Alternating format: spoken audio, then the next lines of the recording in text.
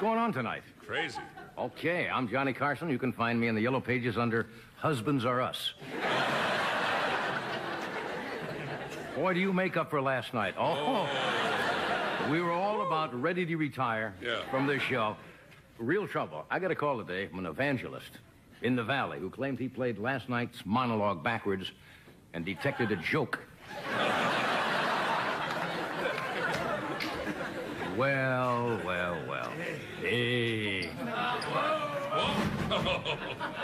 Easy. Makes me want to move. Well, you're going to move later. Doc's going to do something special. Doc is going to, actually tonight, is going to cook on this show. He's a good cook. I saw him on-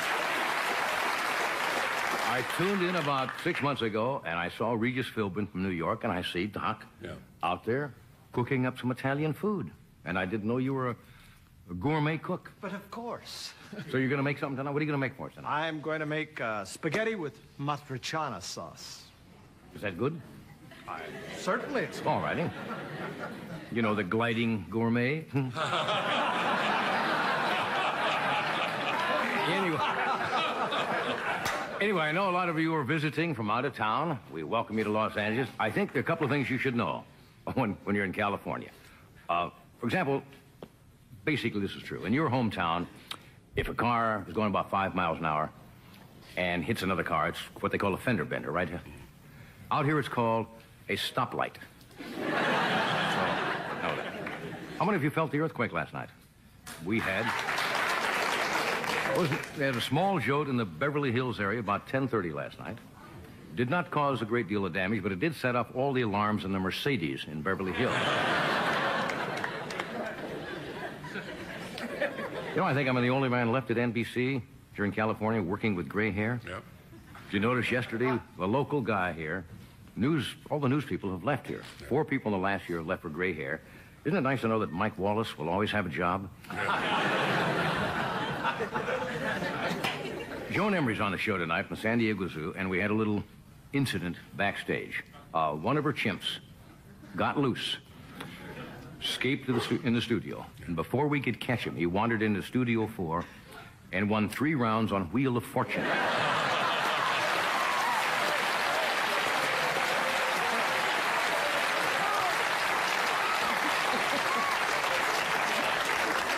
That's a hot show, isn't it? Anyway, I welcome you to the Valley. We're in the San Fernando Valley in Burbank, not a cultural mecca.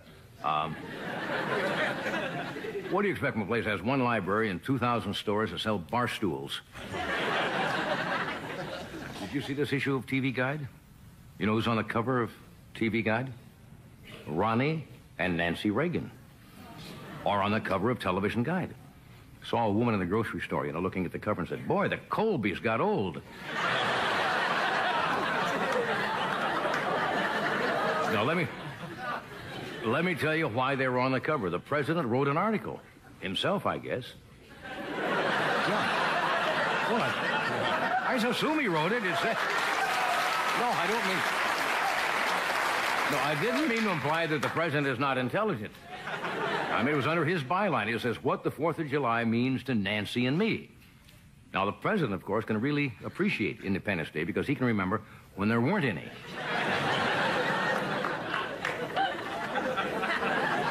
Speaking of the presidency, guess who announced he's going to run in 1988? Alexander Haig. Yeah.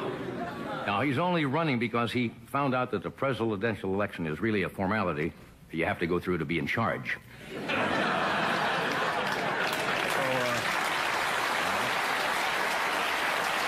Uh, I'm not too confident about Haig's campaign slogan. Vote for me, the sane alternative to Lyndon LaRouche. you know who's the Democratic's choice? Gary Hart is the Democratic frontrunner. Yeah. Gary.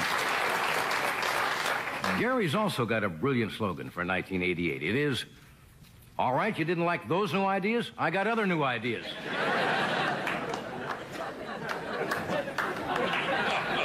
Here's the weird news item of the day.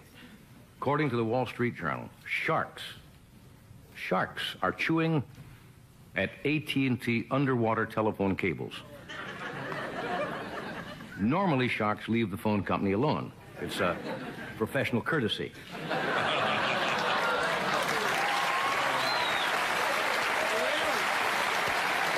Anyway. In addition to Doc's cooking tonight, Joan Embry from San Diego Zoo, we have a very, very fine actor, Danny DeVito. is with us tonight.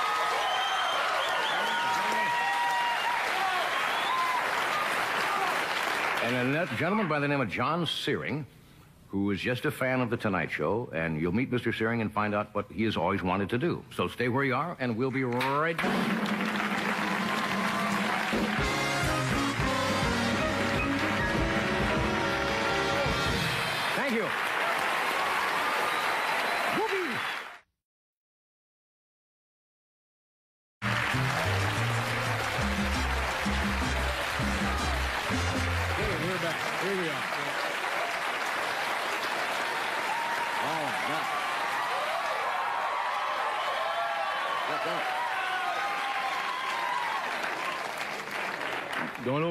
Have to be good.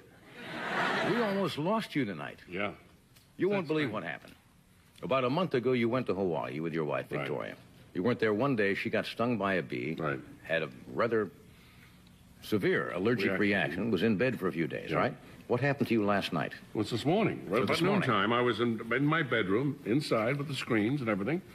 And a You bee keep the bit screens me. inside? Well, I mean, a Oh, bee got in somehow and bit me, the dirty And he, you had a bad reaction. bad reaction. I got sick to my stomach and fainted and almost fainted. That's not. that's Now, that- what are the like? What's the likelihood of that happening to, to the same family, two people within the three-week period, each get stung by a bee? I think you're in the Guinness Book of If it was the same bee, no, that can be dangerous. Incidentally, the bee is on terminal life support system. at, at Cedars-Sinai, the bee went into alcoholic shock. And, uh, was sitting there going, to all the people, this is fun. Oh. you taught that bee a lesson. Anyway, I'm, I'm glad you're up and around. Thank All you. right, Danny DeVito is here. Joan Embry. Doc is going to cook for us later on some Italian Great. food. He's good, you know. He's a good cook. and we can heckle him and do all that stuff. Now, this next gentleman, his name is John Searing. I have not met him, but he is a fan of The Tonight Show. Like most shows, we get a lot of mail, but we get a lot of mail, mail from this man. Wh- Where is, do we have? These, believe it or not, are some of the letters we have received. These are Drawings. Look at 'em. well, these are Xerox copies that he sends. They have been coming, I guess, for about the better part of the past year. Uh, and in all the letters that he has sent us, he had one request. Um, he'll have to explain that. He is from West Caldwell, New Jersey. Would you welcome John Searing?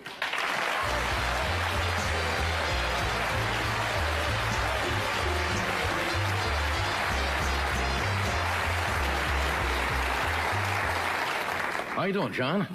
Fine, I can't Well- believe it. Well, you're here. now we but you did write how many letters altogether did you write the Tonight Show? I guess in the course of the last seven or eight months, there was about um, 800. Now the postage alone is uh, gets a little severe, doesn't it? Yes, it does. Your tongue runs a little dry licking the stamps. Uh huh.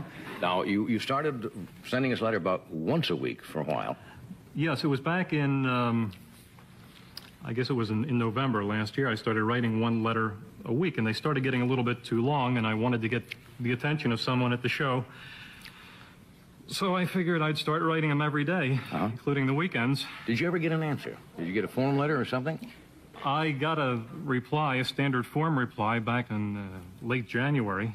All right. Now Which- all of the letters you wrote had the same request. Why don't you tell people what it is? I wanted to come on the show and just say that here's Johnny. All right. You wanted. In other words, you you've been listening to Ed's do this for how many years? I started. Uh, let me just compose myself. A all right. now. That's okay. You're finally here after all Yes, this time. You I see, believe it yet. Off. I started watching the show in 1964 when I was 14, Mm-hmm. and I would. My parents would be watching it downstairs. We were in a row home in Philadelphia, and I would be lying on the floor, looking down the steps, Right. seeing you doing all your Whatever it is I do. whatever it is. Yeah. Time, that didn't come out the way I meant. That's all right. And so I, I would, um, I got interested in magic through hearing you talk about it with Yeah. uh, Carsoni. Right. And I would um, tape record the opening introduction and get in front of a mirror and just pretend I was doing it. I got uh, really wrapped up in the show. It, be, it became an obsession. Uh, more or less, yes. Now, you- you're married. Yes. What is your wife and you, you have children?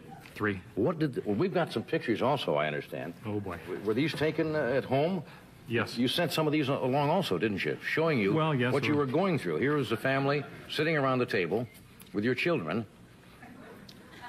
I guess what, licking envelopes and. They- uh, no, they, they, there was a um, table full of Alpo dog food at the time. Oh, I see. They weren't actually eating They weren't it. eating it, no, but you. but it was um, anything to get the attention here. Here's one. Here says, "Dear John, please let me say it." A- you had a very aggressive campaign here. Besides that, John. Now here's one. You look, you look like a, like a mummy or something. You're in. Says, "I'll say, I'll, I'll unwrap my daughter." Oh, wait, wait, wait. My we- two daughters were uh, wrapping themselves up in toilet paper when I came home from work. They were wrapping I don't know why. up I, in toilet I, paper. I don't know why. They, yeah, they, I don't know why they were doing it. And, and I saw the one, and I, I said, "Wait a minute, wait a minute! Don't don't take her apart." I got an idea. I want to take her picture. And um, I guess it was a little bizarre, but uh, You got me intrigued now. Um, well, I was threatening, uh, not threatening, but politely Yeah. saying that if, if someone didn't get a hold of me, I was going to flush her down the Hudson. all right, now here's one. You're getting desperate, obviously, Yes. here. In other words, if you don't get to do this, that's the way you're going to end it all, I guess. I think your letter came after that saying no. Oh, okay. now, this is, now you're really going all out. You, a close-up of the suit with my label in it, right? Yes? Show that you mean business. Now, look at this. I don't know where this building is. That's what's on the building, Carnac. I, Character uh, we do. I started working for a, uh, a, a new company back in October. How did your wife take all this? I mean, this obsession. Well, she thought I was loony to begin with anyway. Right. And this, you know, really didn't do anything to help it, but she was really not very supportive of the things that I did. I see. And uh, we eventually divorced. It wasn't.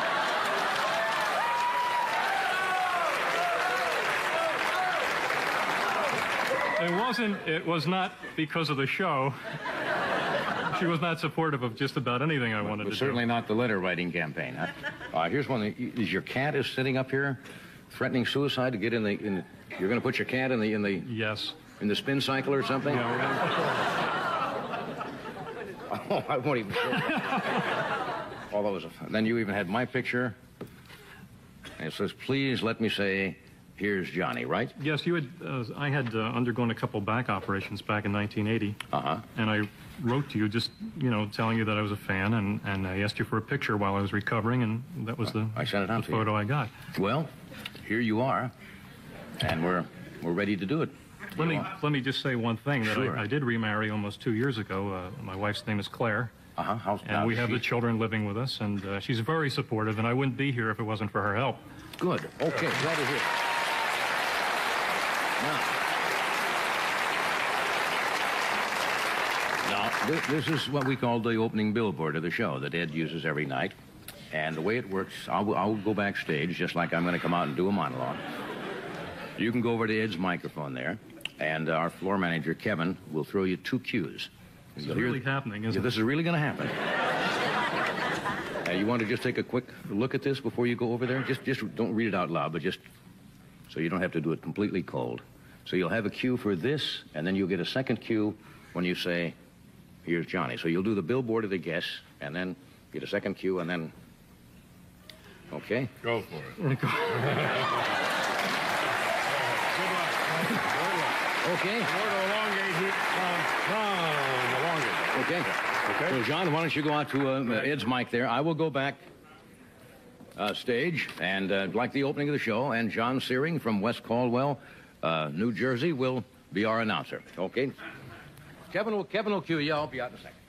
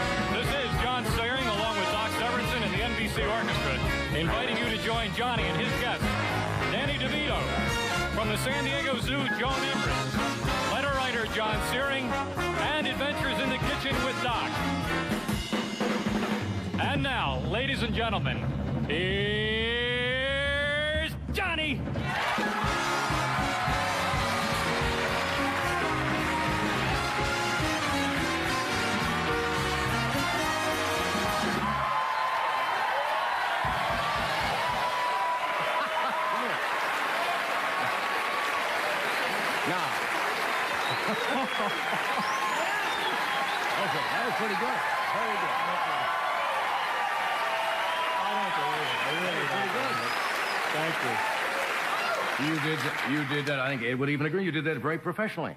Thank you. You're a good-looking gentleman. Thank you very much. Yeah. Uh, congratulations.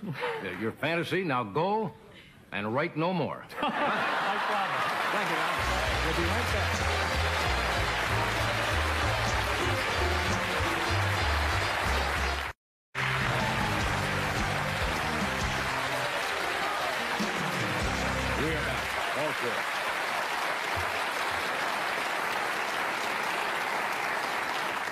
I might point out that although this gentleman wrote a lot of letters, uh, I wouldn't suggest you start writing hundreds of letters and saying, I'd like to replace Ed or I'd like your job or something. We, we may not fulfill all of those. My next guest, you all know, he's a very bright, funny, and talented actor. Um, I guess who came really to everybody's attention in Taxi. Um, he's also been in movies like One Flew Over the Cuckoo's Nest, Jewel of the Nile, Wise Guys. His latest movie is called Ruthless People. Opens tomorrow. Danny DeVito.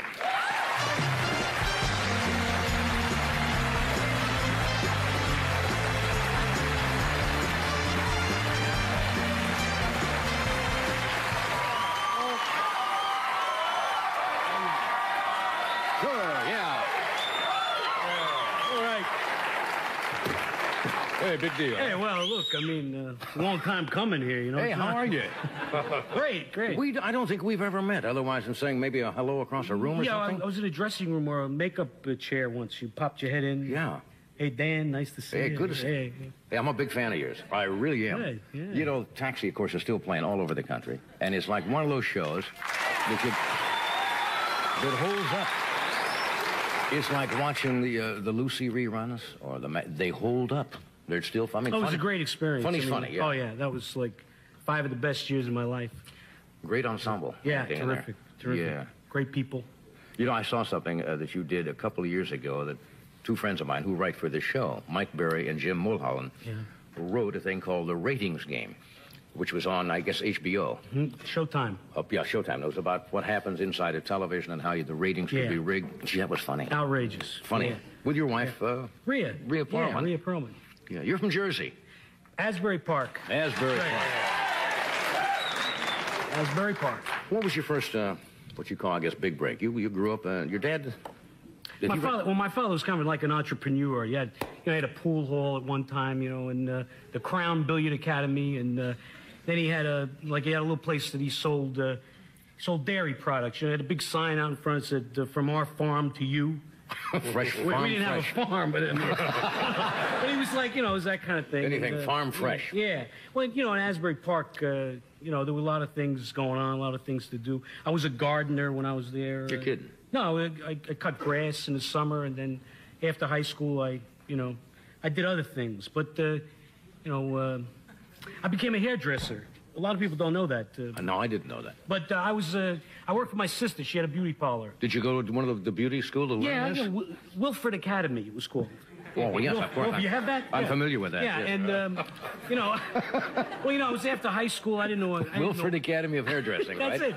Yeah, you know, you got your little case with Now, all little you things weren't- in it. You know, Now, tell me this: coming from Jersey, you know the macho image you got Tough from guys, Jersey, and yeah. somebody says, "Hey. I'm going to go to the Wilford School of Beauty." How did you go up and tell your friends, "Hey guys, Well, I- you know what I'm going to do? I'm going to I'm Wilford going to School." Wilford School of Beauty. What do you want me to do? Hang around the pool all day? I'm going to go learn a trade. yeah. Something you could depend Well, on. But I, I got very good at it. Uh, Were you? Well, yeah. Well, my sister, she had the beauty parlor, Angela, you know, and I was Mr. Dan, you know, and. Uh, yeah, you know, and, uh, I was. It's always the first name. Is Mr. Dan? That's right, Mr. Dan, Mr. Daniel, Mr. whatever, AU, and um, Uh, I, I got to, my specialty was like, this is early 60s. It's like, uh, you know, 61, 62 around. And, uh, I don't even know it was big then. and uh, you know, my, my specialty was the beehive. Well, you know, people do the beehive. They just, uh, a lot of people want, never wanted it to come out. That was the thing. You put it in, you know, and people would stay for like weeks with this beehive. What's know? the secret to a Well, good beehive? Well, you know, Mr. I was, Dan. I was very, I was well known. you know, it was like what we actually tested it once. We was on the cover of this uh, magazine down the shore. They had this thing called the Starlight magazine. It was Spotlight magazine. It was, uh, you know, all the things were going down on the shore in the summer. And they took uh, this woman that I had done a beehive. We brought it down to the jetty down at the, the shore, and we stuck around a 25 knot wind. to see if it would hold up. Did it hold up? It held up, but Hey, you know, it was what great. an ad, Hey, what an ad. gonna do, you know? Hey, you want to stand on the shore with a 25 knot wind? Come see Mr. Dan. I mean, that's a. That just means I gotta. We're coming right back. Stay where you are. Miss.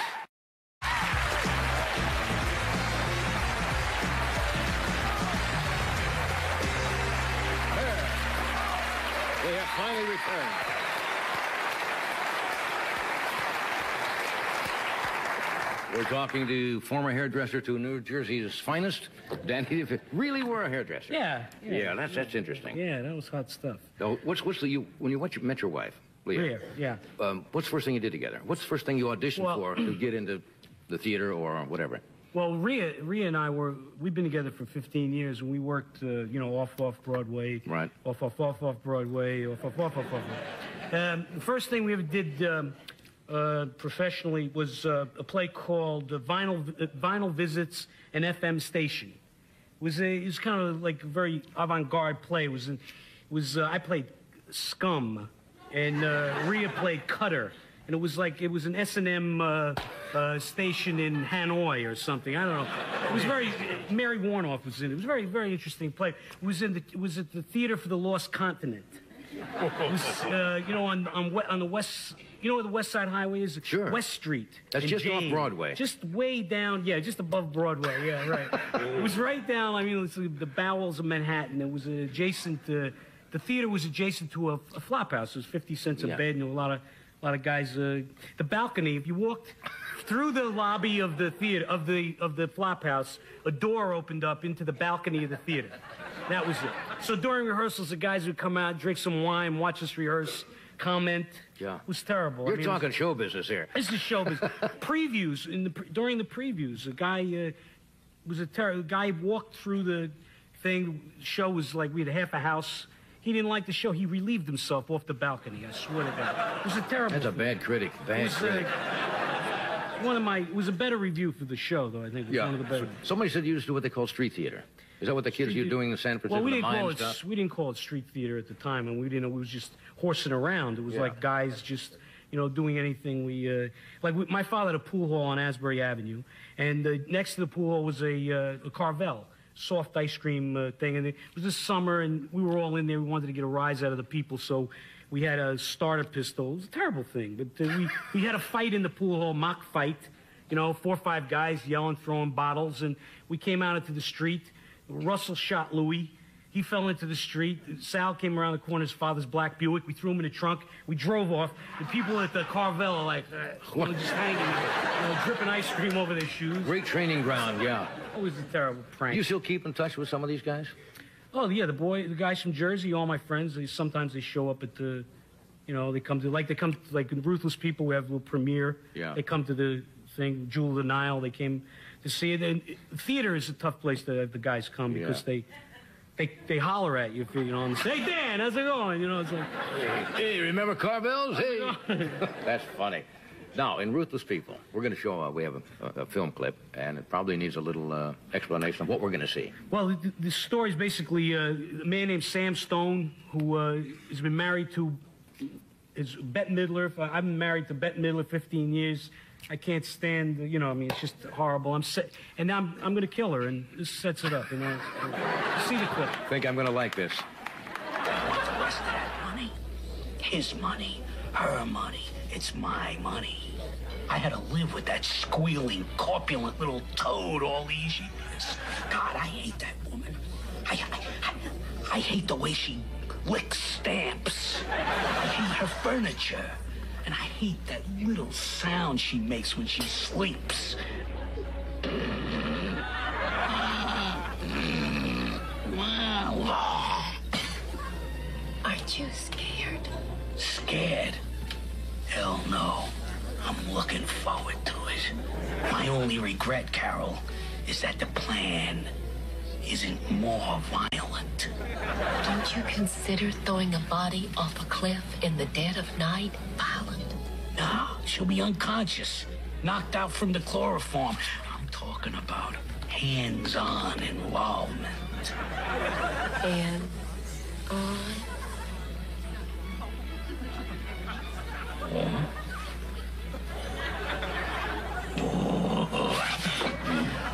I'm going now. I can't wait.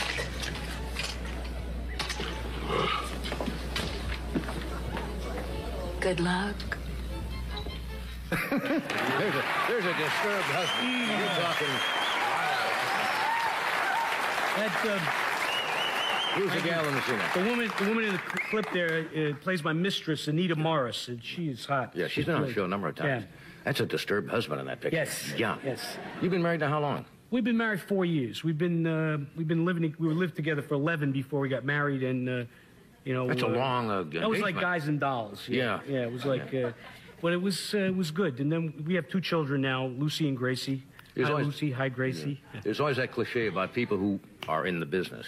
It's difficult because of the scheduling and so forth. Yeah. You work together. We try to work too. it out, you know, as, as best we can. Like, uh, you know, in terms of the schedules and whenever I'm on location, if if Rhea's not doing cheers, then you know she brings the kids and we, Yeah, that's we hang out. When you did Jewel and I, you went spent some time in Morocco. Oh, yeah. Yeah. Yeah. And you sat around there. Somebody told me you. What's the joke? You Oh. told somebody. Well, it's like, well, you see, Not I a work- lot of comics work Morocco. No, it's it's a. I worked. Well, actually, what I, I came from Wise Guys, and I was two months in a, in every morning in the makeup trailer. Lou Albano would tell this joke. Guy goes in the psychiatrist's office. He says to the doctor, "Doc, all night I'm dreaming about wigwams and teepees." Right? And the doctor says to him, "I know your problem. You're too tense." Okay, so for two months, Okay. two, two months. I'm deserves hearing- it. I understand. I'm Okay. hearing this joke. So now I'm like, you know, it's in my head. I'm, I can't. Every place I go, I'm telling this joke. Two weeks after we finished Wise Guys, the whole family were on a plane to Morocco. First, I see Michael Douglas and Kathleen Turner for lunch, and they just they greet us at the hotel. First thing I do, I'm a basket case. Eight hours on a plane with two babies. Hey, Mike, did you hear the joke about the, the guy who goes in the psychiatrist's office? I, I'm, I'm telling everybody this joke, and everybody's going, oh, you know, this guy's going to be in the movie, you know, and this, that, and the other. So we get to Ouarzazate, which is in the Sahara Desert. The governor of Ouarzazate and, and nine people, his entourage, come in to sit with us for tea one evening. You know, they, they wear the long robes and, you know, just the, their legs out and, and, and little tiny shoes, no socks, right? He- fezzes on their heads and towels and things. And, and, and they don't speak English. They speak Arabic and French. I don't speak, I speak Jersey. I don't speak Arabic, French, whatever. Now, Michael and Kathleen, you know, they get along with French a little. Michael Douglas, he's talking French. The guys, I'm sitting there like, hmm. So they had a translator. So in the middle of the, there was a little lull in the conversation. don't don't tell me. I said to the translator, ask the governor if he heard this joke. right? I tell him the joke. The guy's going, I'm going, the guy walks in the psychiatrist. Gets to the wigwams and teepees. Two tents. Long, long punchline. I said, guy goes, "Whoa!"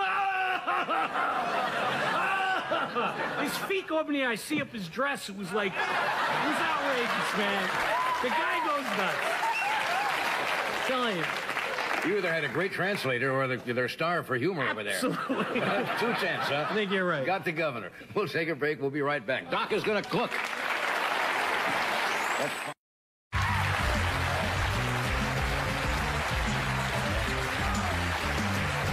it's that time. you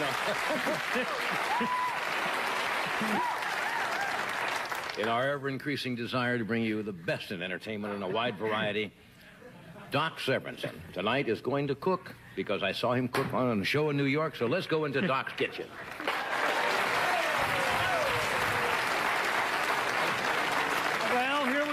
Well, here we are in kitchen again. Now, I've, I've been to your house before, and, you know, you, you did cook, That's right. but you've never done it publicly. You've never said Why how do I cooked, though. Well, we're going to find out. Now, what do you I- mean find out? What was that? The chopped liver we gave you No, there? it's pretty good, but I want to see how you prepare this. Okay. You could have smuggled some stuff in that night. Oh, now, wait a minute. You're going to help. So you get over here. You got to do some things. We're going to make spaghetti Well, here we are. with an amatriciana sauce. What? Amatriciana sauce. That means made out of old mattresses. Anyway, We're in Doc's comedy kitchen. No, no, no, no, no. This is this is for real. Here, Okay, we gotta now you- get the spaghetti going in there. Now, what I'd like you to do Uh-huh. is to open that can of tomatoes and put them in that bowl over there, and then squish them up with your hands. Ooh, this fire's a little bit hot here. Well, let's see. We're gonna start out over here with a little bit of You Italian. feel like you're in the very early days of television here? I, pour, I put them in here first, just pour them in. Pour them right in, and then reach in with your hands and squish them up.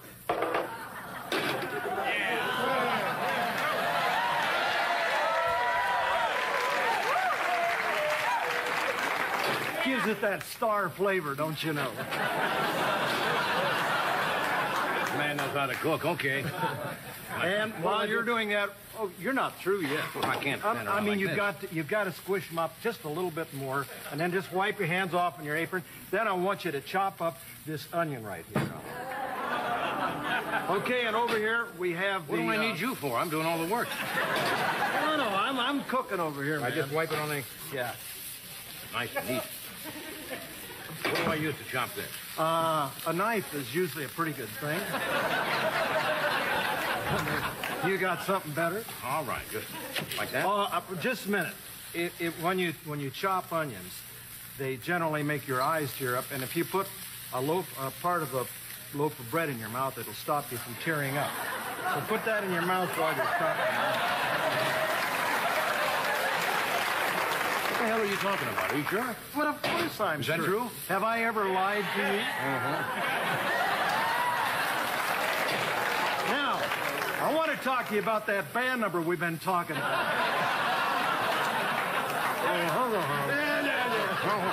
How much do I chop these? What? Uh, oh, you have to chop it up quite fine. Mm-hmm. Actually, I have some over here that we've already got going.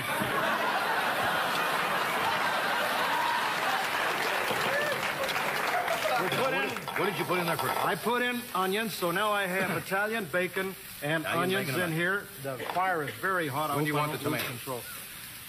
Well, you could just hold them a minute. All right. And now I put a little bit of garlic in there, like this.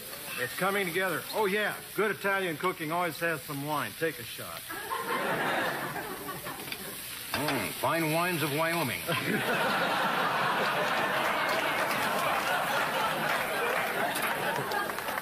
That's fine. Okay, how would now you know what I want to do with this wine? Yeah. Oh, I want to drink I some know, but- so much. All right. Now, No, uh, when you cook under a very hot flame like this, you get a little burning on the bottom. You put a little wine in there like that. See, that picks up that stuff off the bottom of the pan. all right, sir. Very good. All right. And also gives a nice flavor to it. We cooked the wine all the way off, and I wouldn't be doing it. I forgot to put in a little bit of olive oil here. Olive oil. All right. Yo, mama likes olive oil.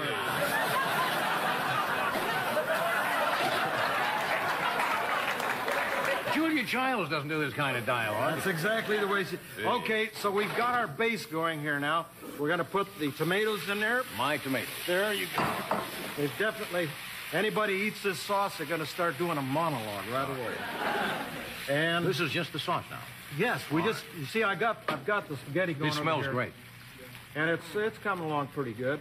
It's uh, I, I'm missing my most important thing. Uh, wouldn't you know? I left my spaghetti catcher at home. Oh, your colander, you mean? No, I mean uh, the big fork that you use to move Oh, it around. With. I see. But anyway, uh, we have to put now a little bit of uh, basil leaf in here. All right. What does that do? Uh, it gives it a terrific flavor, sweetens it. You Okay. know. And uh, so we put some of that in there, like that. Do you do most of the cooking at home, or does Emily do this? Who?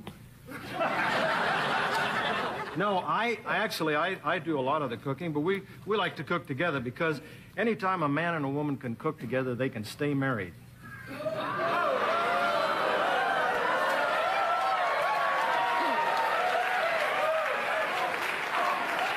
Well, thank you, Dr. Ruth. now, I'm going to reveal a hitherto unknown secret. Right. Uh, this is the secret ingredient of many things good, and it's called stock. You put a little of that in there, quite a little bit like Right. that, and this is made. Like chicken stock or- No, no, this is veal stock. Okay. And it's made by boiling up a calf. And Which was done earlier today. you should always keep your vegetables and your old pieces of meat around the house and, and cook them together. And you keep cooking it down and down and down, and it comes out like this, and it's sort of a gelatin, a paste like that, and it helps your cooking terrifically. Oh, I like this. anyway, now, you let that cook for a while. that uh, the ordinary time that I would take to cook this would be about 10 minutes. We don't have quite No, that amount of time, but everybody has seen the ingredients go in there. I make no measurements. I mean, I just go Just- by just- feel. just by feel. You have to put your heart in it, That's you know. And this is the last thing.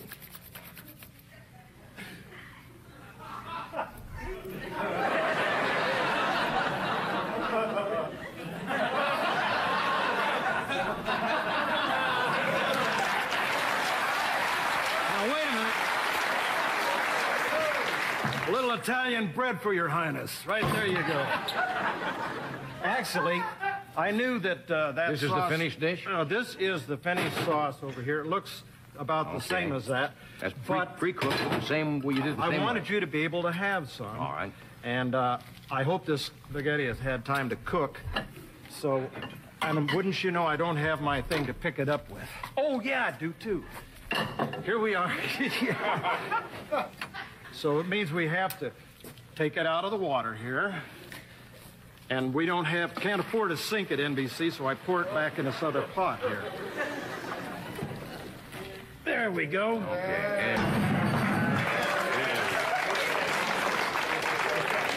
You're the disease, I'm the cure. If this isn't good, I'll put in with you. All righty. Need a plate? Yeah. All right. Okay, now, uh, let's see. Okay, I have to take a little bit of it out on there. All right. I get to sample this? Of course. All right. That's enough to start with there. That'll get you going. You'll Now, want can I take some of this sauce? Put some of that sauce on there. All right. There you go. There's one thing I, I, oh, that's enough. Don't put any more. Why? Because I said not to. Oh, all right. No, you, But I only asked. well, you should never drown your spaghetti or your pasta in sauce. Don't drown it. Just, just enhance it. I'm going to take just a little bit of this. Okay.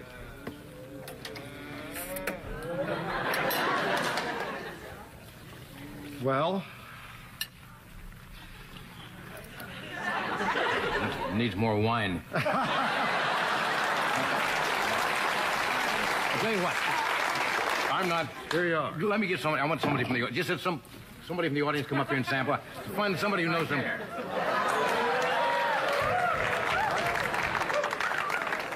Oh. A gentleman, maybe. What's your name? Kathy. Kathy? Just take a little bite of that. Wait a minute, I'm making some special for Kathy. Here, let me take it. All right, that's enough now. Don't overdo it. Yeah. We got This gentleman here. Would you, would you give, give me a clean You know, I here. Forgot to the put the uh, grated cheese out here. Yeah, that's what's missing. Jack Grant forgot Just, the just, grated just cheese. one second. I want to get an opinion. I want this gentleman's opinion. That's the best spaghetti in Burbank. Really like it? I really like it. Your name is, I'm Merrill Schindler. and you. I'm the restaurant critic for the Herald Examiner.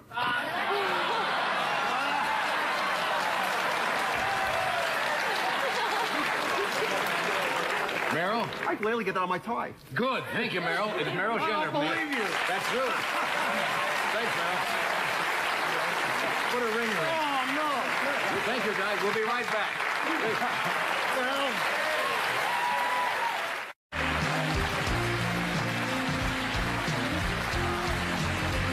Okay, now we just have a couple of minutes here. We only have about a minute and a half, and Joan Embry from the San Diego Zoo realizes that. Uh, she represents 165 public zoos in America, and this happens to be National Zoo and Aquarium Month, which are all supported by the public. Uh, would you welcome Miss Joan Embry?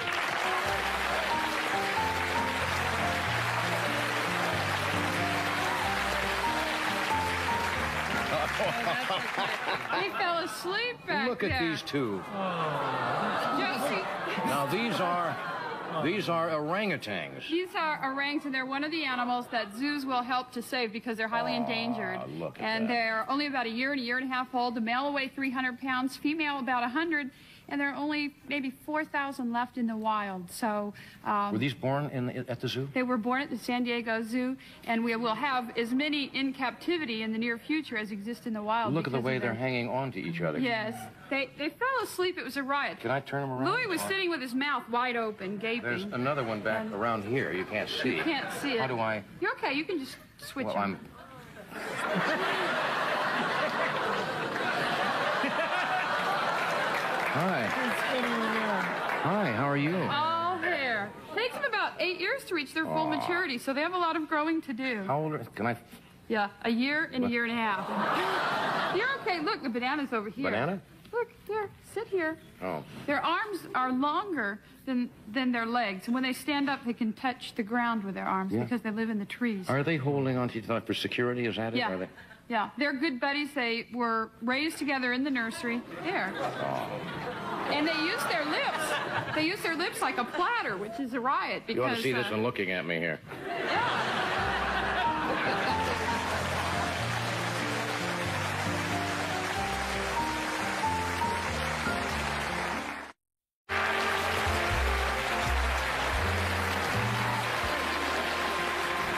One is one is shy. Turned around at the last minute. Anyway, we had some other other babies from the zoo, and we'll show them next time. Okay. I thank you for coming. But this is National Zoo and Aquarium. Month, That's right. Want everybody to come out and visit their zoo. Yeah, thank you for being here. This is adorable. Danny, thank you so much. Thank you. Ruthless People is open around Tomorrow. Tomorrow opens around the People. country. I'll see you tomorrow.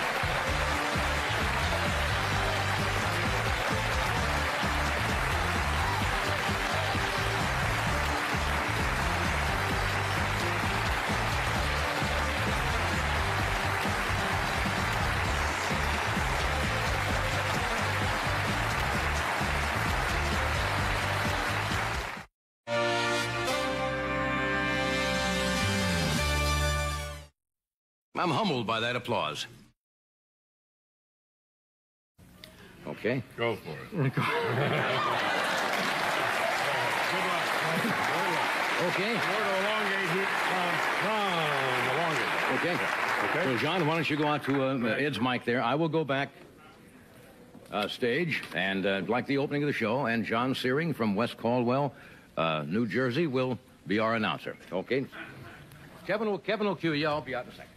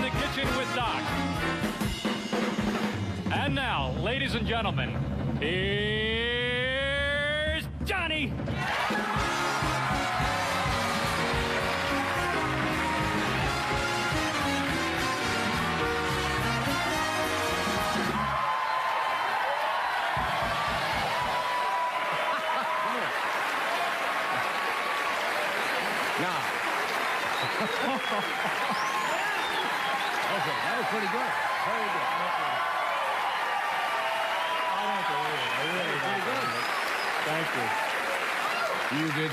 You did that. I think Ed would even agree. You did that very professionally. Thank you. You're a good-looking gentleman. Thank you very much. Yeah. Uh, congratulations. Uh, Your fantasy. Now go and write no more. I promise. Thank you. We'll be right back.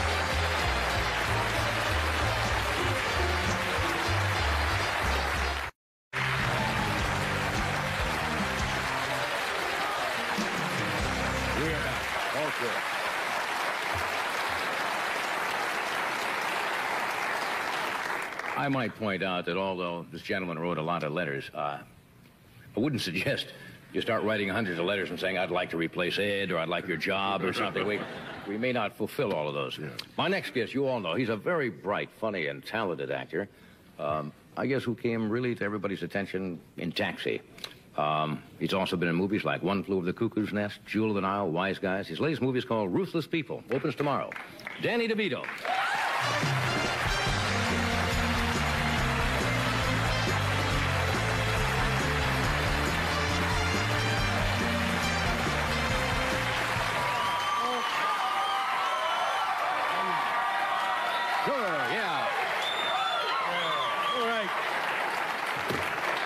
Hey, big deal. Hey, well, look, I mean, uh, it's a long time coming here, you know. Hey, It's how not- are you? Great, great. We, I don't think we've ever met. Otherwise, than saying maybe a hello across a room or something. yeah, I, something. I was in a dressing room or a makeup uh, chair once. You popped your head in. Yeah.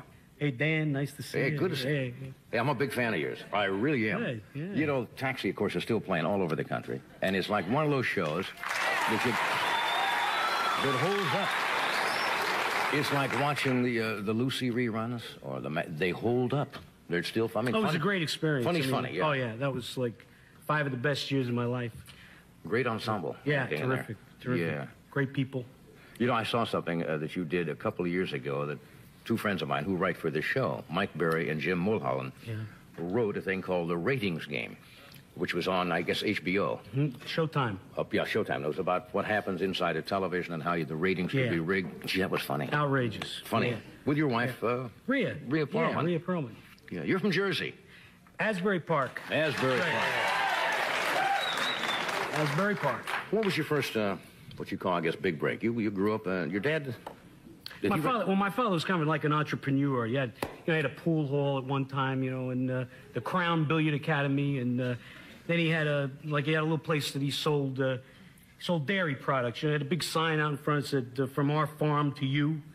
fresh We, farm we didn't fresh. have a farm, but, I mean, but he was like, you know, it was that kind of thing. Anything And, uh, farm fresh. Yeah. Well, you know, in Asbury Park, uh, you know, there were a lot of things going on, a lot of things to do. I was a gardener when I was there. You're kidding. No, I, I, I cut grass in the summer, and then after high school, I, you know, I did other things. But, uh, you know, uh, I became a hairdresser. A lot of people don't know that. Uh, Uh, No, I didn't know that. but uh, I was, uh, I worked for my sister. She had a beauty parlor. Did you go to one of the, the beauty school to learn Yeah, this? yeah, Wil- Wilfred Academy it was called. Oh, yes, Wil- of course. Wil- you have that? I'm Yeah. familiar with that. Yeah, yes. and um, you know, well, you know, it was after high school. I didn't know. I Wilfred know- Academy of Hairdressing, That's right? it. Yeah, you know, you got your little case with Now, all the little you things weren't- in it. You know, Now, tell me this: coming from Jersey, you know the macho image you got Tough from guys, Jersey, and yeah. somebody says, "Hey, I'm going to go to the Wilfred School of Beauty." How did you go up and tell your friends, "Hey Well, guys, I- you know what I'm going to do? I'm going to I'm Wilfred going to School." the Wilfred School of Beauty. What do you want me to do? Hang around the pool all day? I'm going to go and learn a trade. yeah. Something you could depend Well, on. But I, I got very good at it. Uh? Well, yeah. Well, my sister, she had the beauty parlor, Angela, you know, and I was Mr. Dan, you know, and, uh, yeah, you know, and, uh, I was. It's always the first name. Is Mr. Dan? That's in? right, Mr. Dan, Mr. Daniel, Mr. whatever, AU, and um, uh, I, I got to my specialty was like this early '60s. It's like uh, you know 61, 62 around, and uh, I don't even know it was big then. and uh, you know my my specialty was the beehive. Well, you know, people do the beehive. They just uh, a lot of people want, never wanted it to come out. That was the thing. You put it in, you know, and people would stay for like weeks with this beehive. What's know? the secret to a Well, good beehive? Well, you know, Mr. I was, Dan. I was very, I was well known. you know, it was like what we actually tested it once. We was on the cover of this uh, magazine down the shore. They had this thing called the Starlight magazine. It was Spotlight magazine. It was, uh, you know, all the things were going down on the shore in the summer. And they took uh, this woman that I had done a beehive. We brought her down to the jetty down at the, the shore, and we stuck around a 25 knot wind. See if it would hold up. you Did it hold up? It held up, but Hey, you know, it was what an ad, what an ad. Hey, you want to stand on the shore with a 25 knot wind? Come see Mr. Dan. I mean, that's a. That just means I got to. We're coming right back. Stay where you are. Miss.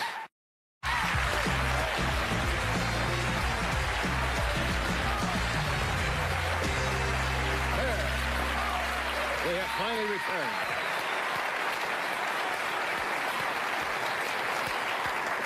We're talking to former hairdresser to New Jersey's finest, Danny. If it really were a hairdresser. Yeah, yeah. Yeah, that's that's interesting. Yeah, that was hot stuff. So what's what's the you when you met your wife, Leah? Leah, yeah. Um, what's the first thing you did together? What's the first thing you auditioned Well- for to get into the theater or whatever? Well, Rhea, Rhea and I were we've been together for 15 years, and we worked, uh, you know, off off Broadway, Right. Off off off off Broadway, off off off off off. Um, the first thing we ever did um, uh, professionally was uh, a play called uh, Vinyl uh, Vinyl Visits an FM Station.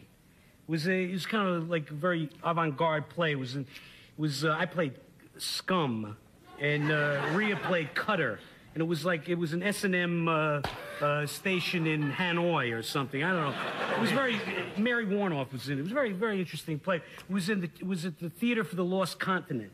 It was you know on on on the west. You know where the West Side Highway is? Sure. West Street. That's just off Broadway. Just way down, yeah, just above Broadway. Yeah, right. it was right down. I mean, it's the bowels of Manhattan. It was adjacent. to the theater was adjacent to a, a flop house. It was 50 cents a Yeah. bed, and there were a lot of a lot of guys. Uh, the balcony. If you walked through the lobby of the theater of the of the flop house, a door opened up into the balcony of the theater. That was it. So during rehearsals, the guys would come out, drink some wine, watch us rehearse, comment. Yeah. It was terrible. You're mean, it was- talking show business here. this is show business. previews in the during the previews, a guy uh, was a terrible guy walked through the thing. Show was like we had half a house. He didn't like the show. He relieved himself off the balcony. I swear to God, it was a terrible. That's a thing. bad critic. Bad was, uh, critic.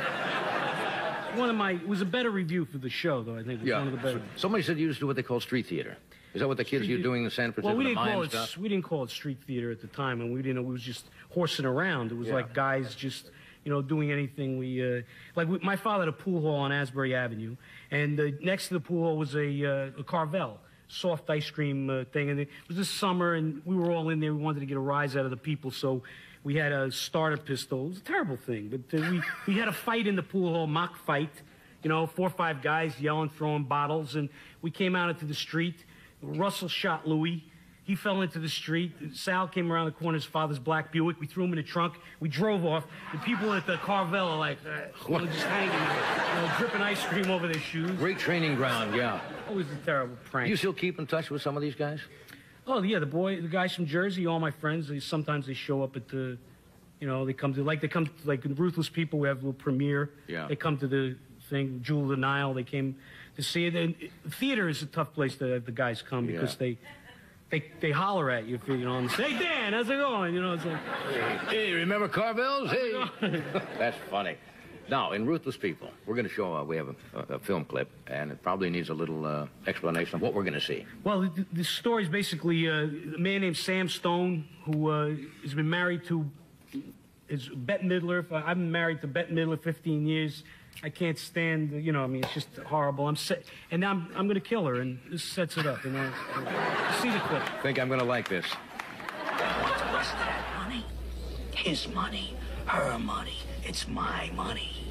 I had to live with that squealing, corpulent little toad all these years. God, I hate that woman. I, I, I, I hate the way she licks stamps. I hate her furniture. And I hate that little sound she makes when she sleeps. Wow. Aren't you scared? Scared? Hell no. I'm looking forward to it. My only regret, Carol, is that the plan isn't more violent. Don't you consider throwing a body off a cliff in the dead of night violent? No, she'll be unconscious, knocked out from the chloroform. I'm talking about hands-on involvement. And on.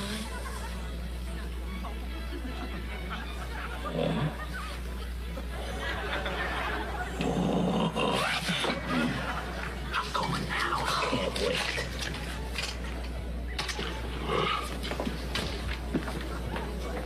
Good luck. There's a, there's a disturbed husband. You're talking. That, uh, Who's the gal in the scene? the woman, the woman in the clip there uh, plays my mistress, Anita Morris, and she is hot. Yeah, she's been on the show a number of times. Yeah. That's a disturbed husband in that picture. Yes, Yeah. yes. You've been married to how long? We've been married four years. We've been uh, we've been living we were lived together for eleven before we got married, and uh, you know That's a uh, long, uh, that was like guys and dolls. Yeah. yeah. It was like, uh, but it was uh, it was good. And then we have two children now, Lucy and Gracie. There's Hi, always- Lucy. Hi, Gracie. There's always that cliche about people who are in the business.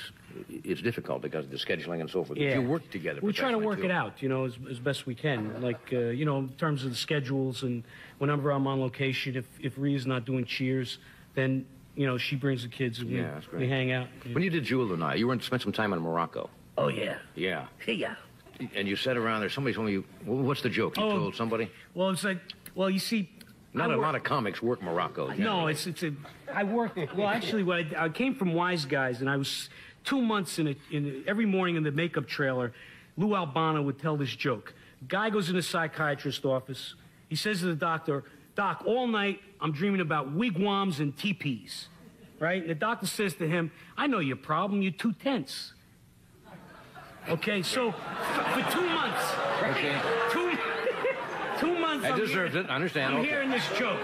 So now I'm like, you know, it's in my head. I'm, I can't. Every place I go, I'm telling this joke.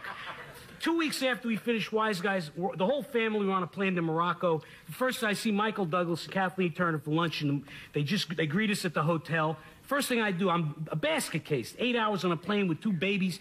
Hey, Mike, did you hear the joke about the, the guy who goes in the psychiatrist's office? I, I'm, I'm telling everybody this joke, and everybody's going, oh, you know, this guy's going to be in the movie, you know, and this, that, and the other. So we get to Ouarzazate, which is in the Sahara Desert. The governor of Ouarzazate and, and nine people, his entourage, come in to sit with us for tea one evening. You know, they, they wear the long robes and, you know, just the, their legs out and, and, and little tiny shoes, no socks, right? He- fezzes on their heads and towels and things. And, and, and they don't speak English. They speak Arabic and French. I don't speak, I speak Jersey. I don't speak Arabic, French, whatever. Now, Michael and Kathleen, you know, they get along with French a little. Michael Douglas, he's talking French. The guys, I'm sitting there like, hmm. So they had a translator. So in the middle of the, there was a little lull in the conversation. don't tell me. I said to the translator, ask the governor if he heard this joke. right?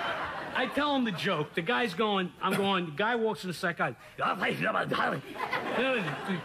Gets to the wigwams and teepees. Two tents. Long, long punchline. I said, guy goes, Whoa! his feet go up in the air. I see up his dress. It was like, it was outrageous, man. The guy goes nuts. Telling you.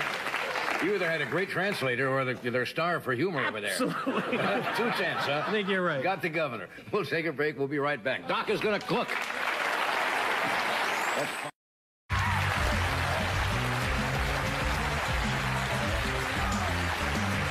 Yes, it's that time. You know.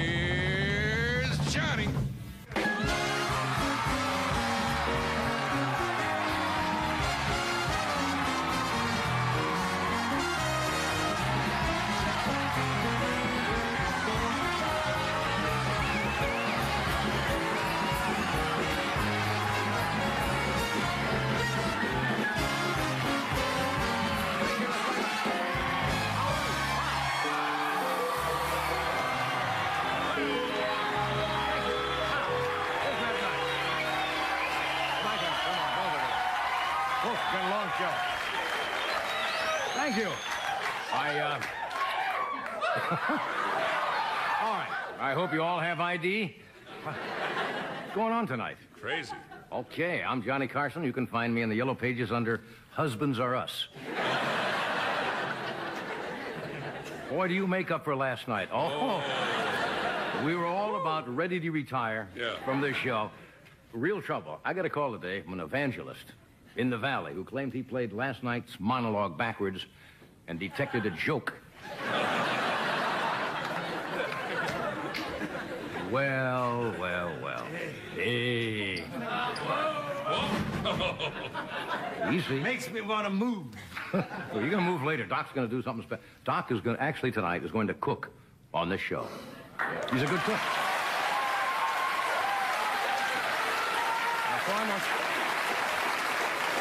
I tuned in about six months ago, and I saw Regis Philbin from New York, and I see Doc Yeah. out there cooking up some Italian food. And I didn't know you were a, a gourmet cook. But of course. So you're going to make something tonight? What are you going to make for us tonight? I'm going to make uh, spaghetti with matriciana sauce. Is that good? Certainly it's All righty. You know, the gliding gourmet?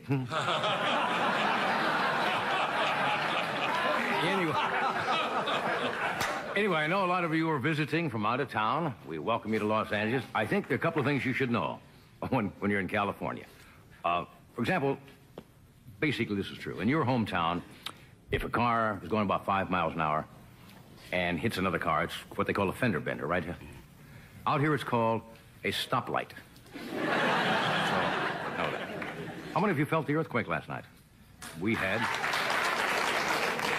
They had a small jolt in the Beverly Hills area about 10:30 last night.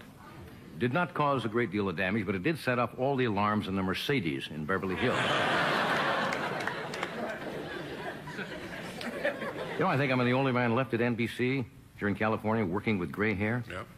Did you notice yesterday, the local guy here, news, all the news people have left here. Four people in the last year have left for gray hair. Isn't it nice to know that Mike Wallace will always have a job? Joan Embry's on the show tonight from San Diego Zoo, and we had a little incident backstage. Uh, one of her chimps got loose, escaped to the in the studio, and before we could catch him, he wandered into Studio 4 and won three rounds on Wheel of Fortune.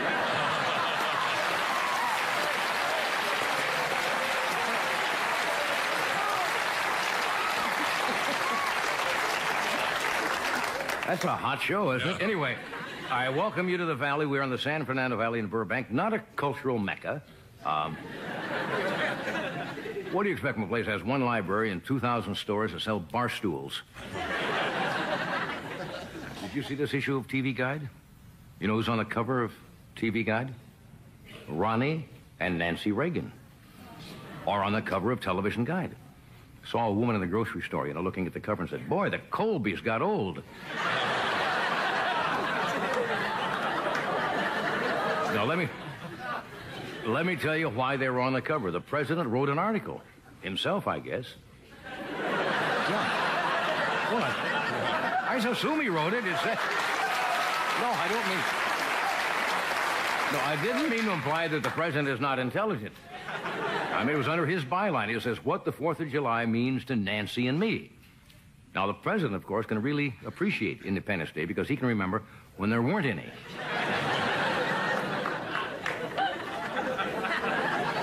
Speaking of the presidency, guess who announced he's going to run in 1988? Alexander Haig. Yeah. Now, he's only running because he found out that the presidential election is really a formality. You have to go through to be in charge. Uh,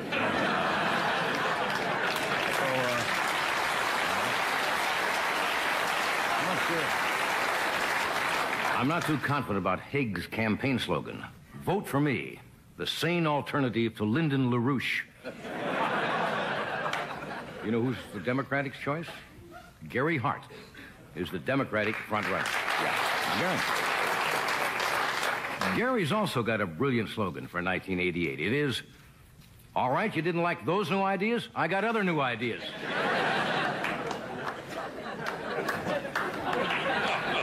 Here's the weird news item of the day. According to the Wall Street Journal, sharks, sharks are chewing at AT&T underwater telephone cables. Normally, sharks leave the phone company alone. It's a professional courtesy.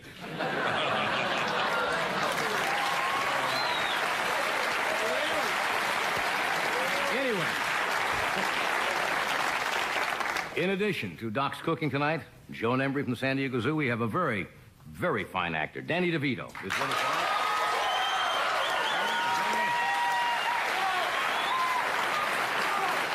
And a gentleman by the name of John Searing, who is just a fan of The Tonight Show, and you'll meet Mr. Searing and find out what he has always wanted to do. So stay where you are, and we'll be right back.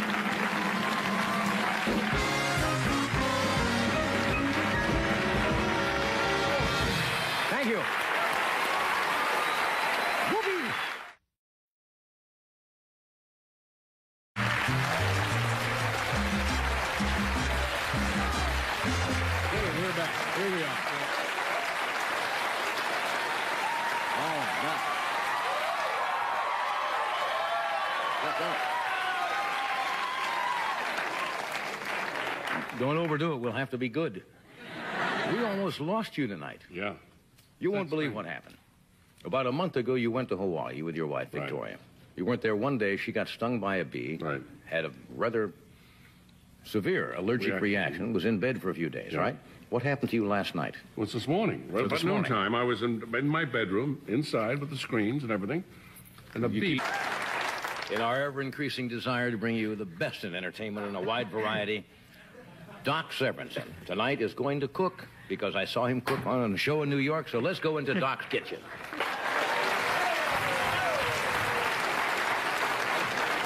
Well, here we are in the kitchen again. Now, I've, I've been to your house before, and, you know, you, you did cook, That's right. but you've And never done it publicly. You've never said Why how don't- I cooked, though. Well, we're going to find out.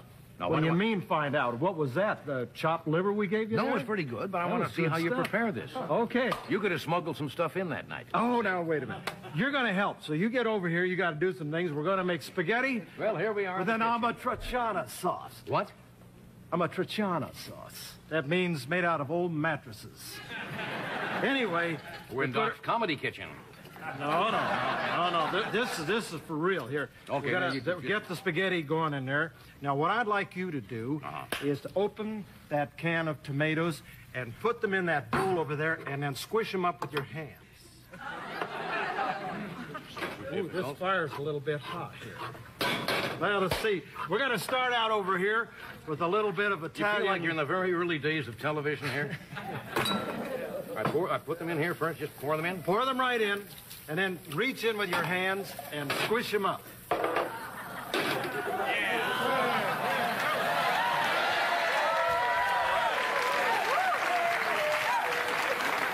Gives it that star flavor, don't you know? Man knows how to cook, okay. And while you're doing that, oh, you're not through yet. I can't stand I, I around mean, like you've this. got to, you've got to squish them up just a little bit more, and then just wipe your hands off on your apron. Then I want you to chop up this onion right here. Okay, and over here we have What the. do I uh, need you for? I'm doing all the work. No, no, I'm I'm cooking over here, I man. just wipe it on the... yeah. Nice and neat. What do I use to chop this? Uh, a knife is usually a pretty good thing. you got something better? All right, just like that? Oh, uh, just a minute. It, it, when you when you chop onions, they generally make your eyes tear up, and if you put a loaf, a part of a loaf of bread in your mouth, it'll stop you from tearing up. So put that in your mouth while you're chopping. What the hell are you talking about? Are you sure? But of course I'm Is that sure. true? Have I ever lied to you? Now, I want to talk to you about that band number we've been talking about.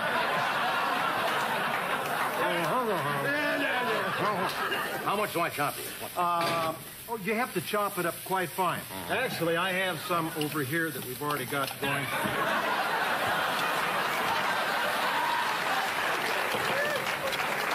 We put in, What did you put in there first? I put in onions, so now I have Italian bacon and Italian onions in here. The fire is very hot. I When do you hope I want the don't lose tomatoes? Control.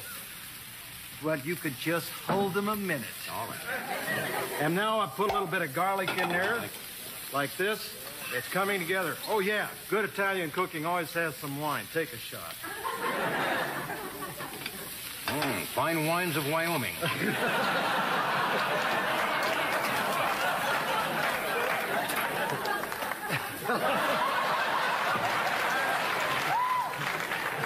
That's fine. Okay, how would now you know what I want to do with this wine? Yeah. Oh, I want to drink some know, but- so much. All right, now. No, uh, when you cook under a very hot flame like this, you get a little burning on the bottom. You put a little wine in there like that. See, that picks up that stuff off the bottom of the pan. All right, sir. Very good. All right. And also gives a nice flavor to it. We cooked the wine all the way off, or I wouldn't be doing it. I forgot to put in a little bit of olive oil here. Olive oil. All right. Eh, Yo, mama likes olive oil.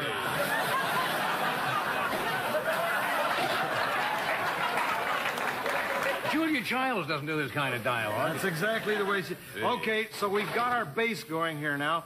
We're going to put the tomatoes in there. My tomatoes. There you go. They've definitely. Anybody eats this sauce, they're going to start doing a monologue right away. And This is just the sauce now. yes, we just. You see, I got. I've got the spaghetti going. It smells great. And it's it's coming along pretty good. It's uh, I, I'm missing my most important thing. Uh, wouldn't you know? I left my spaghetti catcher at home. Oh, your colander, you mean? No, I mean uh, the big fork that you use to move Oh, it around. With. I see. But anyway, uh, we have to put now a little bit of uh, basil leaf in here. Right. What does that do? Uh, it gives it a terrific flavor, sweetens it. You Okay. know. And uh, so we put some of that in there like that. Did you do most of the cooking at home, or does Emily do this? Who? No, I, I actually I, I do a lot of the cooking, but we, we like to cook together because anytime a man and a woman can cook together, they can stay married.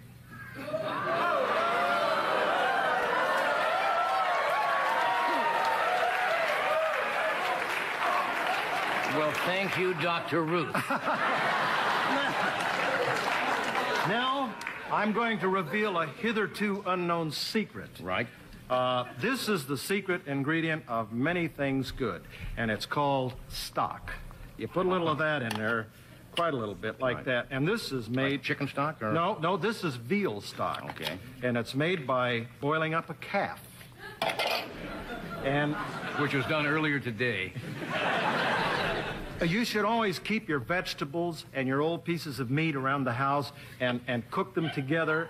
And you keep cooking it down and down and down, and it comes out like this in a sort of a gelatin, a paste like that, and it helps your cooking terrifically. Oh, I like this. anyway, now, you let that cook for a while. that uh, the ordinary time that I would take to cook this would be about 10 minutes. We don't have quite No, that we don't. amount of time, but everybody has seen the ingredients go in there. I make no measurements. I mean, I just go It's by just- feel. just by feel. You have to put your heart in it, That's you know. And this is the last thing.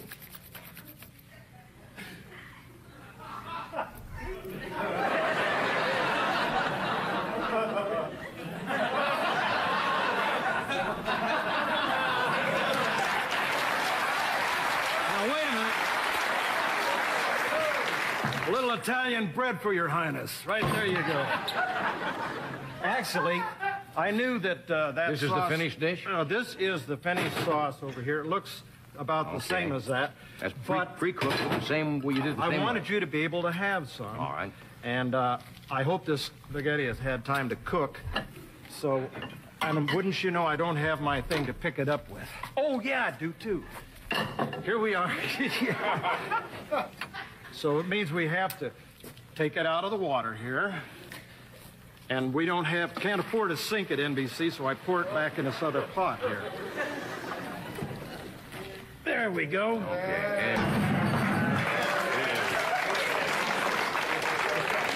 You're the disease, I'm the cure. the screen's me. inside? Well, I mean, a oh, bee got in somehow and bit me, the dirty And he, you had a bad bad reaction? reaction. I got sick to my stomach and fainted and almost fainted. That's, not. Now, that- what are the like? What's the likelihood of that happening to, to the same family? Two people within the three-week period, each get stung by a bee. I think you're in the Guinness Book of if it was the same bee, no, that can be dangerous. Incidentally, the bee is on terminal life support system. at, at Cedars-Sinai, the bee went into alcoholic shock. And, uh, is sitting there going, all the people. this is fun.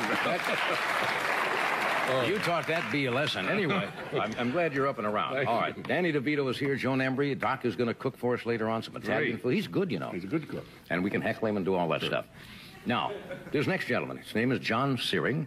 I have not met him, but he is a fan of The Tonight Show. Like most shows, we get a lot of mail, but we get a lot of mail, mail from this man. Wh- Where is, do we have? These, believe it or not, are some of the letters we have received. These are Drawings. Look at 'em. well, these are Xerox copies that he sends. They have been coming, I guess, for about the better part of the past year. Uh, and in all the letters that he has sent us, he had one request. Um, he'll have to explain that. He is from West Caldwell, New Jersey. Would you welcome John Searing?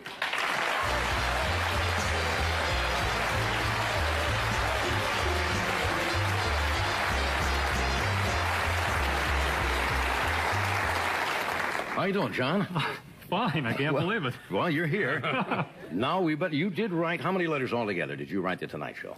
I guess in the course of the last seven or eight months, there was about um, 800. Now the postage alone is uh, gets a little severe, doesn't it? Yes, it does. Your tongue runs a little dry licking the stamps. Uh huh. Now you you started sending us letter about once a week for a while. yes, it was back in, um, I guess it was in, in November last year. I started writing one letter a week, and they started getting a little bit too long, and I wanted to get the attention of someone at the show. So I figured I'd start writing them every day, including the weekends. Did you ever get an answer? Did you get a form letter or something? I got a reply, a standard form reply, back in uh, late January. All right. Now all of the letters you wrote had the same request. Why don't you tell people what it is? I wanted to come on the show and just say that here's Johnny. All right. You wanted. In other words, you you've been listening to Ed's do this for how many years? I started. Uh, let me just compose myself. That's for a minute. That's okay. You're finally here after all Yes, this time. You I see, believe it yet. It paid off. I started watching the show in 1964 when I was 14, and I would.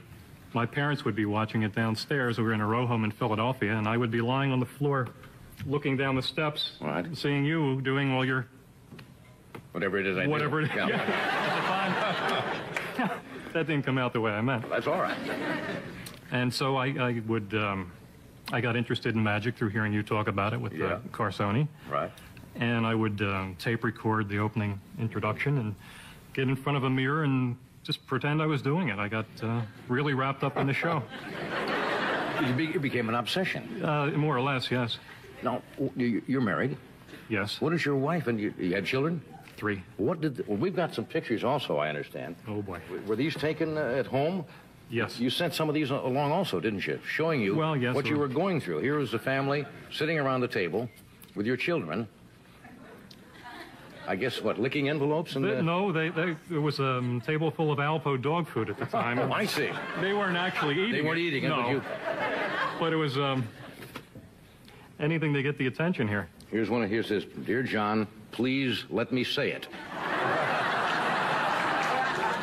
A- you had a very aggressive campaign here. Besides that, John. Now here's one. You look, you look like a, like a mummy or something. You're in. Says I'll say I'll I'll unwrap my daughter. Oh, wait, wait, wait. My we- two daughters were uh, wrapping themselves up in toilet paper when I came home from work. They were wrapping I don't know themselves why. up in I, toilet I, paper? I don't know why. That, yeah, they. I don't know why they were doing it. And, and I saw the one, and I, I said, "Wait a minute, wait a minute! Don't don't take her apart." I got an idea. I want to take her picture. And um,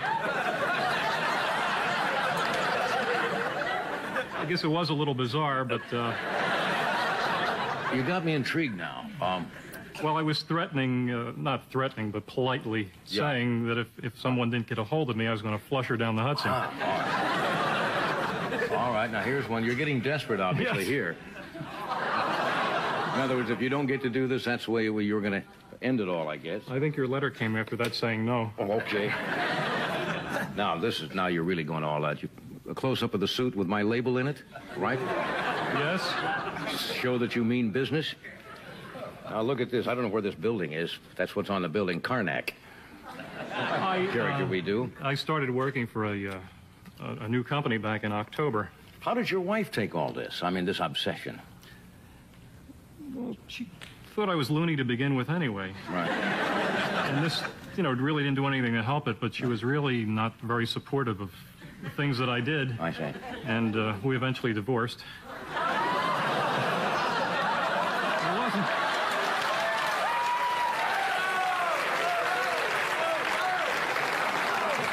It wasn't, it was not because of the show.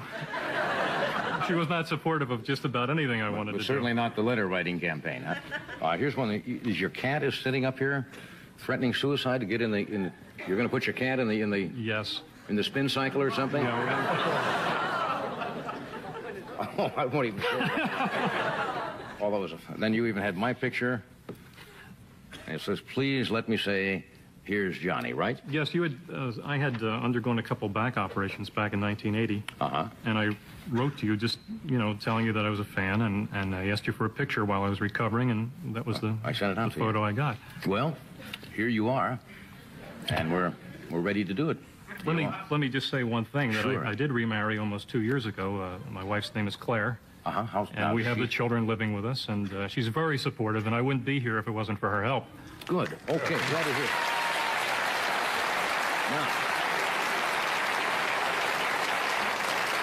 Now, this, this is what we call the opening billboard of the show that Ed uses every night. And the way it works, I'll, I'll go backstage just like I'm going to come out and do a monologue. You can go over to Ed's microphone there, and our floor manager, Kevin, will throw you two cues.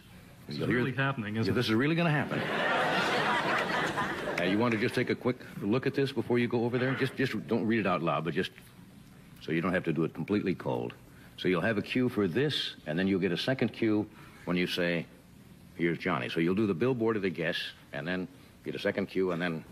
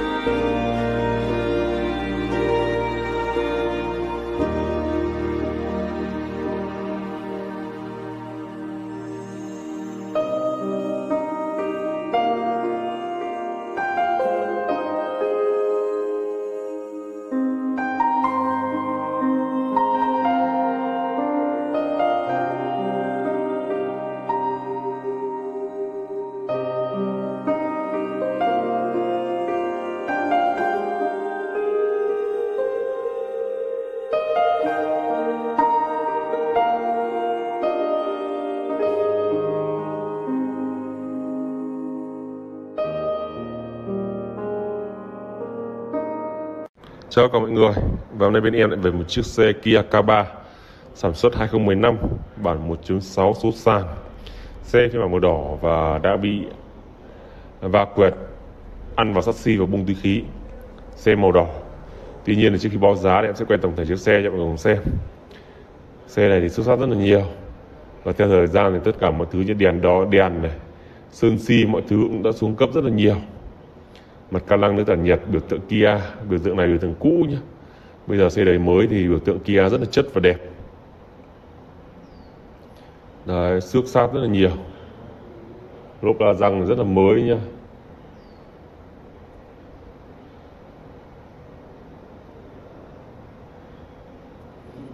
Nói chung là xi nhan tích hợp ở gương nói chung là mọi thứ của em nó còn khá là ok các bạn có thể thấy. Nói con này thì sức rất là nhiều. Vì vậy sẽ có một mức giá rất là ưu đãi và rất là rẻ cho mọi người nhé.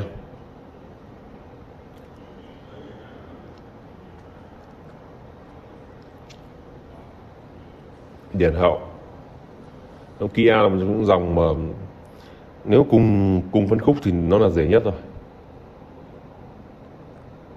cùng phân khúc mà những cái dòng thương hiệu thì nó rẻ nhất rồi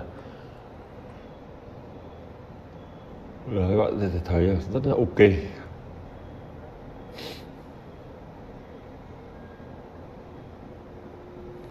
Sinh ra tích hợp ở gương.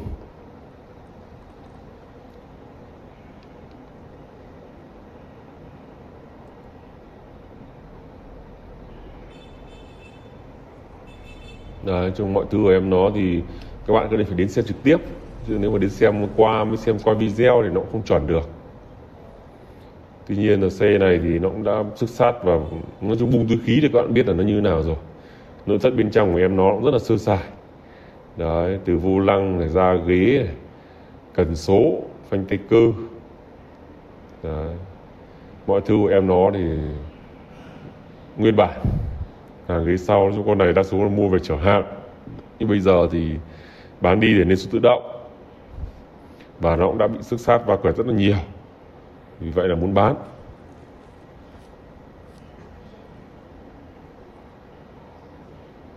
Đèn hậu rất là chất và đẹp.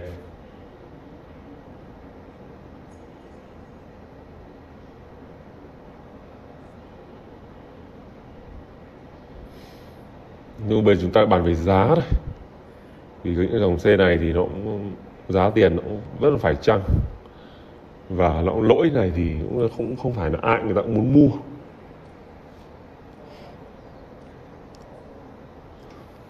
Nhưng mà cái dòng xe vẫn vạn C cạnh tranh trực tiếp với Civic hoặc là với này Elantra thì à, uh, Cerato nữa nói chung là K3 này cũng rất là ok đấy.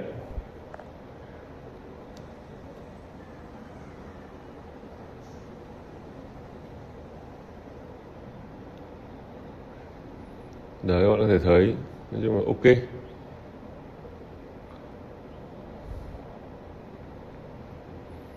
Và các bạn nếu mua thì các bạn đến thuê thợ thuyền đến check, xem máy móc cũng như là xem tổng thể chiếc xe, đi thử xem là có ok hay không. Sau đó chúng ta mới bàn đến việc sang tiền và giao dịch. Chứ rất nhiều bạn này cứ xem qua trên mạng này thì cũng không chuẩn được 100% đâu. Và con xe này thì vì nó bị bung túi khí, vì vậy là bên em nó bán với giá là 269 triệu. Đấy, và ai mua liên hệ sớm với em. Nếu ở phần bình luận em ghim đã bán thì là bán rồi. Còn chưa ghim gì thì vẫn còn. Mọi người cứ chủ động liên hệ nhé đó, mọi người cứ chủ động lên. Xin chào tất cả mọi người. Vì là bên em còn rất nhiều các dòng xe khác em phải review ngay.